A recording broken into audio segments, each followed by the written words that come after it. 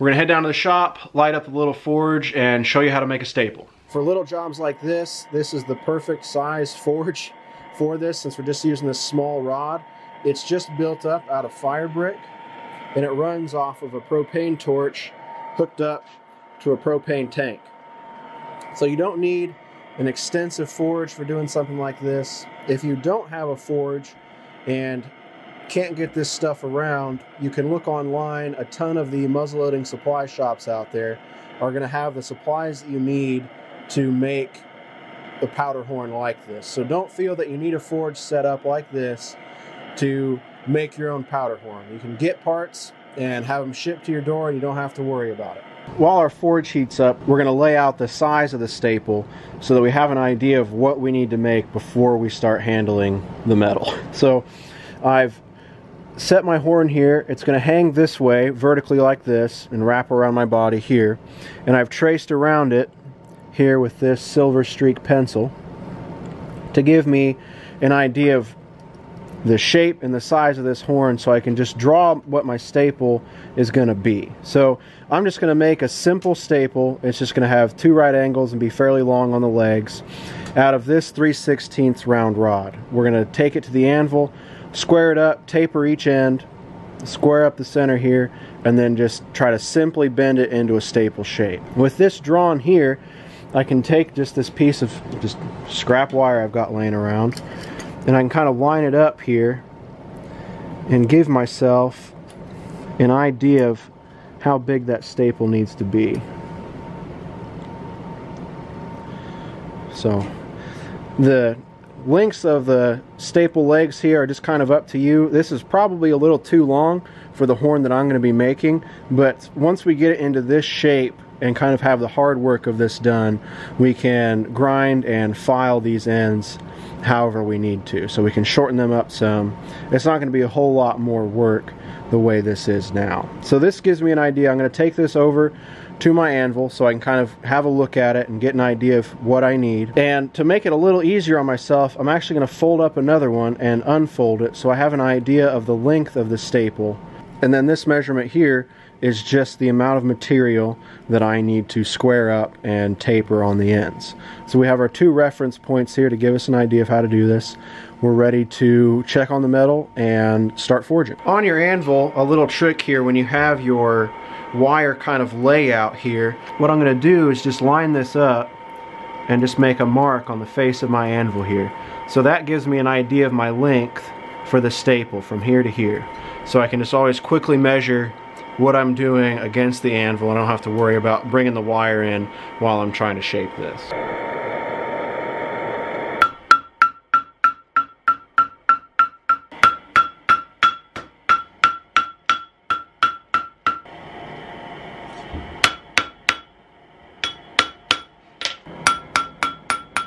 So I'm just about there with the rough forging on this. I'm going to heat it up one more time and I've got some areas out here on this end that are kind of warped and I'm going to work on just a nice gentle heat with some gentle hammering to try to even that up a little bit. Then we're going to cut this off and form it up.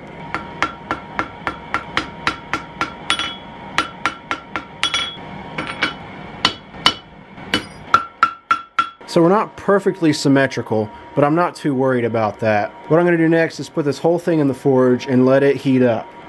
To form this, we're going to try to use this pair of tongs.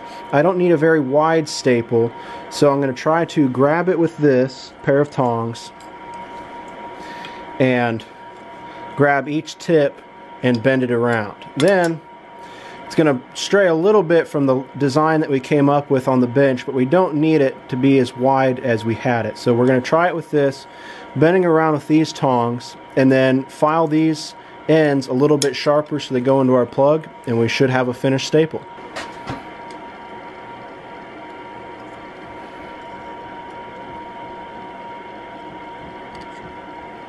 So here's our staple. We don't have it perfectly even all the way around, but we're going to go ahead and nip this off and use our file to sharpen these up a little bit so we can add it to our horn. Back on the bench now, I'm using a drill bit that's just a touch larger than the points on my horn staple here. My goal here is to drill just enough that the horn staple will go in but will need forced in. This makes sure the staple is not going to pop out and it, this small hole all the way through gives me a chance to make sure that this doesn't split as we're driving the staple in. Now I'm going to use a little bit of my 5 minute epoxy here to make sure that my staple stays in the horn.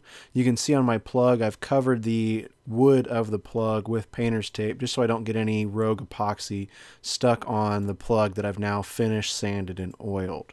I'm just using a little piece of wire here to dab that epoxy into those holes just so we keep our staple sealed in. As tight as this was, I don't think the epoxy was necessary, but for me it's just kind of a nice little safeguard to put in there on an early horn where I have limited experience.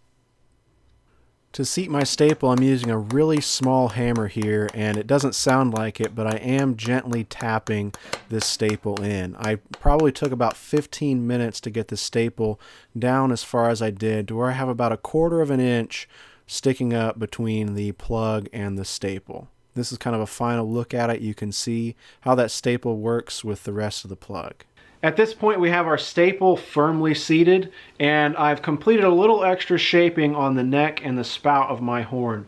I got some feedback on it and um, I was advised to kind of push the shapes a little bit more so I took a little more material out of the neck and I made the angle here on the spout a little more extreme. So now that my shaping and my scraping is done, everything's cleaned up, I don't have any rogue file marks showing, I'm ready to put my pins into the plug and we're going to carve a stopper for our spout here and then we're ready then we're done. We're ready to go. There are several different ways to pin your plug into your horn. What i'm going to be using is a few tremont cut nails. These are nails that are made in america and they're made on a lot of the same equipment that traditional nails were made on and they look a lot like a traditional nail that would have been common in early America where muzzleloaders were a daily carry. So these are pretty long for my horn. So I'm, what I've done is I've trimmed these in half and I've made up nails that are going to become pins for my horn.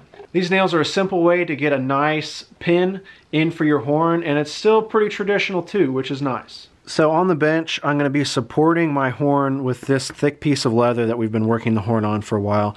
This is just a lot grippier than the bench top. These are my half nail pins that I've made here. And here's my bit. So I've marked the bit with a little tape there so I don't go too deep into the plug. And my bit's a little smaller than my pin. Really, it's it's smaller than more than half of the pin. It's just enough so that we're sure we're not going to crack the plug and we can still get these pins in there. So since we've worked the horn a lot since I put the pin marks, I'm going to set the horn up here the way it would hang and I think it would be nice to have a pin there and really kind of frame the, the staple here with two pins. So I could probably do those a little closer maybe. One there and one there. And just as, as much as the shape of the horn and the contours that you're getting, I think where your pins, where you're putting your pins can kind of become a little bit of the can become part of the art and the design of the horn too. So it's good to think about it a little bit as you're picking the places to put your pins. So I've got two here on this side kind of offset off of the center. I've got a pin, I'll have a pin here and a pin here on either side of the staple. You know I'm going to move this one to go a little more in line with the staple there. And then here on this other side I'm going to put two more opposite where we have these guys here. I'm going to move this guy over just a touch so it's more in line with that staple, I think. Just kind of smudge that out with our finger, that lead out of there. And I'm going to line these up with the line that we scribed on there earlier. Really, we didn't have to scribe this line when we did. I think looking back on it, I would have not scribed the line and worried about that line after I had the plug seated and in. Because I'm using epoxy and not going super traditional with my construction, um, because I'm using that epoxy, I think that line could have definitely waited until I had the plug in and I was here. You see here, I have a little bit of a width change just because of the plug seating process that I went through and a little aggressive filing there. And so I don't want to put a pin here where that's really thin, but over here and over here where it really widens back out, we should be good for a pin. So what I'm going to do now is very gently start drilling a hole. And I'm going to start on the back side of the horn. And really the bottom where nobody, including myself, is going to see it regularly. So in case we mess up this first hole, it's not a very obvious one. A very obvious mistake.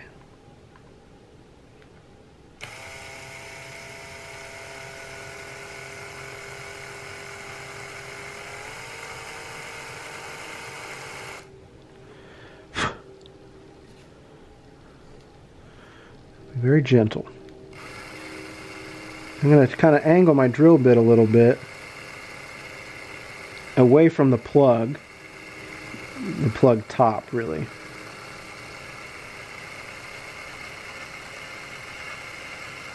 Just so I'm not running a risk of breaking out.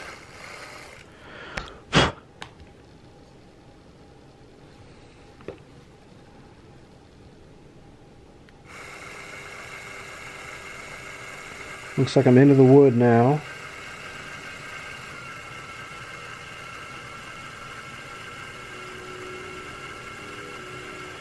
I'm just about there to my mark.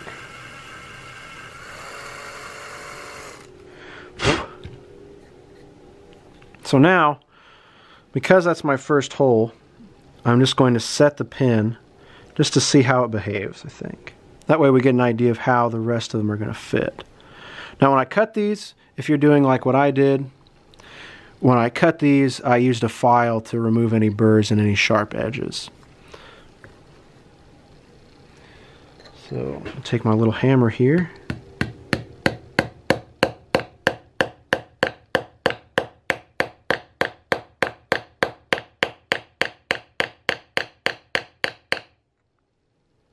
No cracks so far, that's good.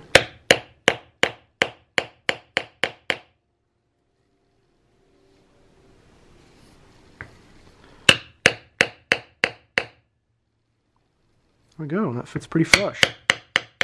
So there you go, that's our first pin in there. Didn't look too bad. Okay. I kind of like the pencil lines on there too. kind of gives you a little handmade look. So I'm going to move on to the other holes and I'm going to drill them the same way. When I'm what I'm talking about with that offset is I'm angling the drill like my finger here. So I'm going down and in and not that way I'm not going in and up. I don't want to drill through here and have to put in another patch if I don't have to.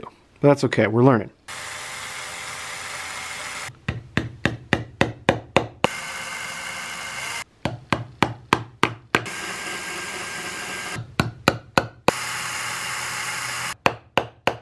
For my spout plug, I'm using a piece of walnut off of the same piece that I used for my plug. Using my carving knife, I'm just going to whittle a spout out of this chunk, being inspired by the look and the grain of the wood. I'm leaving a little bit of a bark inclusion there just to add some visual interest and I've really focused on displaying the curl of the grain in this piece of wood because as I apply oil, that's really going to pop. Curly wood grain is kind of a staple in long rifle and muzzleloading culture, and adding it to your spout plug here, or even the plug at the base of the horn, really ties everything together. It may help to file a bevel on your spout tip of the horn just to get a better seal with your plug because our plug is tapered and our hole is straight from the drill. Using a rasp or a file on there gets you more surface area connecting so you're not dripping any powder. And with that, the basic construction of our horn is completed. You could tie this to your bag or make a strap for it and head out into the field now. But you can also, at this point, get ready to start researching scrimshaw designs, adding some more detail to it, or you can just start over and add more detail on another horn. I hope you've enjoyed the first two parts of this series on basic powder horn construction. As I dive deeper into powder horns and their history and what goes into them, we're going to be bringing you more about the history of the designs that go to the powder horns, as well as the history of powder horns in various locations across early America. You can find the full tutorial to go along with this video series at nmlra.org slash craftsman's corner. We're always adding new classes involving traditional American crafts to our class roster for the year. Head over to nmlra.org slash education to enter your name and an email address to be notified when new traditional craft classes are launched. We'd like to thank you so much for watching, and we'll catch you next time.